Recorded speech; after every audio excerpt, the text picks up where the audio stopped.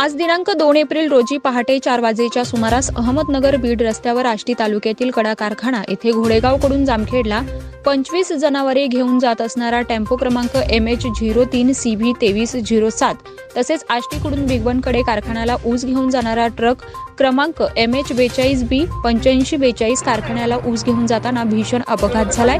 या अपघातात जनावरे घेऊन जाणाऱ्या टेम्पोमधील ड्रायव्हरचा मृत्यू झालाय. तर ऊस घेऊन जाणाऱ्या ट्रकचा ड्रायव्हर गंभीर जखमी अवस्थेत व त्याच्यावर ग्रामीण रुग्णालय आष्टी येथे उपचार चालू आहेत. या अपघातात चार जनावरे मृत्युमुखी पडले आहेत व क्रेनच्या सहाय्याने दोन्ही वाहने वेगळी करण्यात आले आहेत. अपघातस्थळी मोठ्या प्रमाणात गर्दी जमली होती. तब्बल सुमारे एक ते दोन तास वाहतूक ठप्प होती. अपघातस्थळी युवराज धुमाळ राम धुमाळ मचिंद्र निकाळजे साईनाथ कांबळे जितेंद्र बनकर यांनी जखमींना रुग्णालयास पोहोचवण्यापर्यंत सहकार्य केलं. तेजवार्ता प्रतिनिधी गोरख निकाळजे आष्टी बीड. झोप झोप आहे झोप नाही झोप अरे नका जी